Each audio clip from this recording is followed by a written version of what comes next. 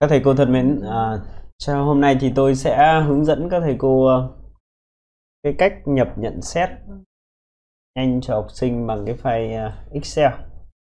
Thì à, tôi sẽ để link down đường link download cái cái file Excel này ở ngay dưới phần mô tả của video. Các thầy cô có thể download về, sau đó các thầy cô sẽ làm theo hướng dẫn như sau ở đây thì uh, cái công việc này tôi uh, tạm gọi là bán tự động thôi bởi vì nó cũng uh, sẽ mất một thời gian nhất định đúng không ạ? Ta có thể làm được.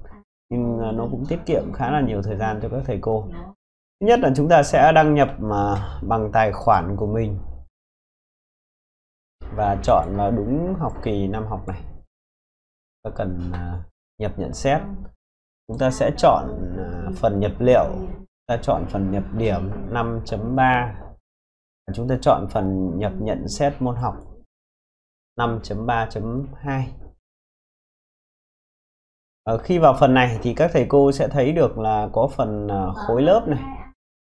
Đấy, khối này lớp này. Chúng ta sẽ chọn cái lớp mà chúng ta cần nhập nhận xét đúng không à, chúng ta chú ý rằng là có hai cái phương thức nếu chúng ta nhập trực tiếp vào đây thì các thầy cô sẽ phải đánh lần lượt từng học sinh một và à, mất rất nhiều thời gian để có thể nhận xét được nếu như số lượng học sinh của mình rất là lớn. Thế thì à, để làm nhanh cho điều này thì chúng ta có thể sử dụng cái ờ, uh, file nhận xét mà tôi uh, có được. Trước hết là tôi sẽ hướng dẫn các thầy cô sử dụng cái file này. À, đầu tiên là chúng ta sẽ à, nhấn vào phần nhận nhận xét từ file Excel khi mà chúng ta đăng nhập vào rồi đấy, đúng không? Chúng ta sẽ chọn là tải xuống file mẫu với cái việc chọn đúng khối lớp này. Chúng ta chọn à, đúng lớp này và đúng môn học của mình, môn dạy của mình. Rồi chúng ta nhấn tải file mẫu.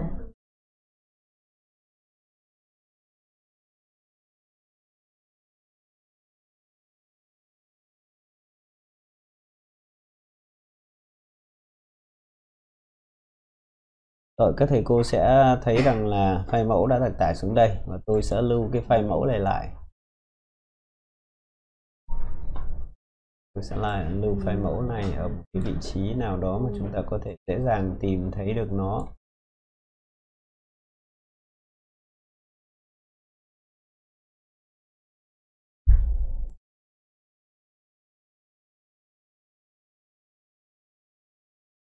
Rồi, à, bước tiếp theo là chúng ta sẽ chuẩn bị uh, sẵn cái file điểm ở đây thì uh, tôi sẽ chuẩn bị sẵn cái file điểm. Đây thầy cô nhìn cái điểm bộ môn này của mình. Chúng ta sẽ mở cái file uh, nhận xét môn học này.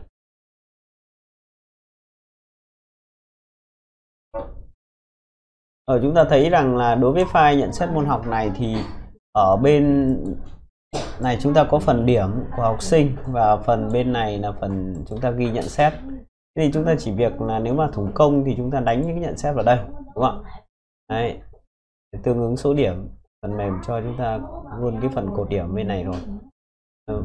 ở đây thì uh, tôi đã trả, tạo sẵn một cái file Excel để các thầy cô có thể uh, khi mà nhập cái số điểm của mình vào ấy thì ngay lập tức nó sẽ tạo ra được cái cái phần nhận xét tương ứng. Tương ứng với cái sinh đó đúng không? Ứng với học sinh đó như thế này. Đấy thì các thầy cô sẽ đây là file mẫu của tôi ạ. Các thầy cô sẽ copy cái phần điểm này chúng ta chọn này chọn dòng chúng ta chọn. Là bôi toàn bộ bôi đen toàn bộ số điểm. Của mình còn cần copy số điểm thôi các thầy cô nhé.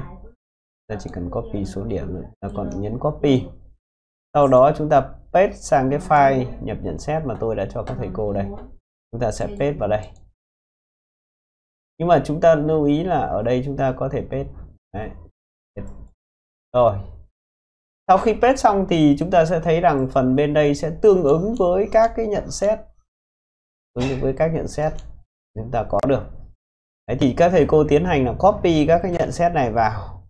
Và chúng ta dán vào cái file mà uh, file mà chúng ta vừa tải xuống đấy đúng không cái điều là ở đây chúng ta nhớ rằng là tôi đang viết những cái cái nhận xét này bằng các cái câu lệnh. Thì ờ, các thầy cô lưu ý là chúng ta có thể sửa được các cái nhận xét này theo cái câu lệnh của tôi. Thì các thầy cô một là còn có thể sửa đi cho nó phù hợp với bộ môn của mình hai là cứ để nguyên như vậy cũng được. Thế thì các thầy cô tùy nếu mà muốn sửa thì các thầy cô sẽ kích vào đây có một cái dòng câu lệnh rất là dài như thế này Đấy, còn không thì các thầy cô cứ giữ nguyên cái phần nhận xét như vậy nó sẽ ra tương ứng với từng từng ờ, học sinh.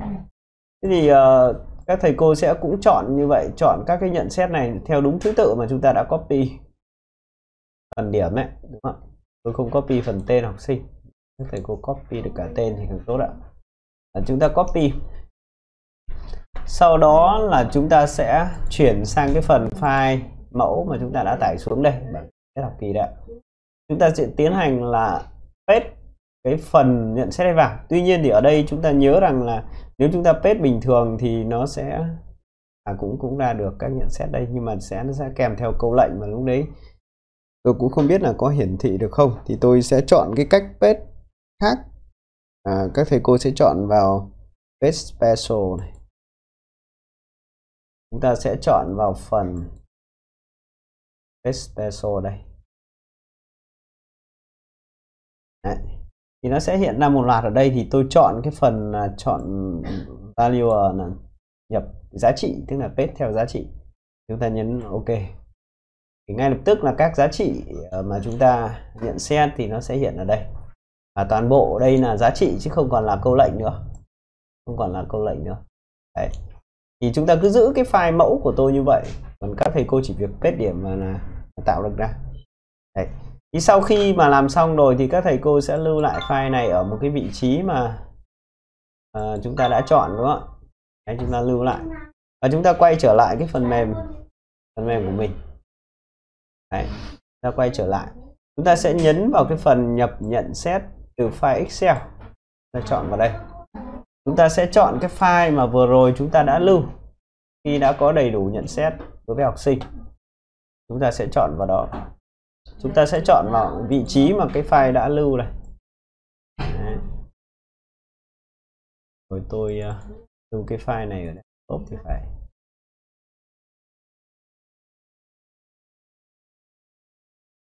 Đây cái file mà tôi vừa lưu đây. Thì tôi sẽ chọn vào cái file này và tôi tải. Sau khi chọn file xong thì chúng ta sẽ nhấn vào cái phần tải lên. Ngay lập tức là dữ liệu sẽ được tải lên như thế này thầy cô thấy rằng là nếu mà mình tiến hành nhanh thì mình có thể là, là làm các cái lớp là rất là nhanh với cái phần à, nhận xét về các cái môn học. Ở đây thì tôi à, đã chia nhỏ các cái phần nhận xét ra một cách uh, tương đối tương đối nhỏ và chi tiết các cái nhận xét này. Nhưng các thầy cô yên tâm là có thể cái sự trùng hợp giữa các nhận xét này là uh, khá là ít. Ờ, rồi sau đó chúng ta sẽ nhấn vào phần cập nhật thì ngay lập tức là chúng ta sẽ có được cái phần nhận xét đối với học sinh.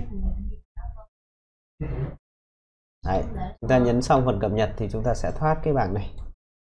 Và ngay lập tức là cái phần nhận xét của tôi nó sẽ hiện lên ở trên đây. Đây các thầy cô quan sát đấy ta đã có nhận xét cho từng học sinh. Nhận xét cho từng học sinh thì uh, đây là cái phần làm mẫu của tôi. Các thầy cô có thể làm tương tự và lưu ý rằng là cái file mẫu file Excel này các thầy cô cứ nhập mà một cái số bất kỳ nào đó thì nó sẽ chuyển sang đúng cái dạng mà chúng ta yêu cầu. Ví dụ như ở đây tôi cứ thay đổi con số ở đây. Đấy thì các thầy cô thấy rằng cái giá trị của nó sẽ thay đổi đúng không? Đây các thầy cô nhìn thì tôi nhập một cái con số khác thì nó cũng sẽ thay thay đổi theo đấy. Và uh, mong rằng là các thầy cô sẽ sẽ vận dụng tốt cái phần này. Tôi muốn uh, muốn tạo ra cái phần này nó dễ dàng hơn và tôi đặc biệt lưu ý là các thầy cô có thể thay đổi các cái nhận xét này cho phù hợp. Bằng cách kích chọn vào đây để thay đổi từng câu ví dụ như đây. Thầy cô nhìn thấy ạ các cái câu mà tôi đặt lệnh này thì các thầy cô có thể tự do thay đổi theo ý của mình. Đấy, để cho phù hợp với bộ môn của mình xin cảm ơn sự theo dõi của các thầy cô. Hẹn gặp lại các thầy cô trong các video tiếp theo. Xin chào, tạm biệt. và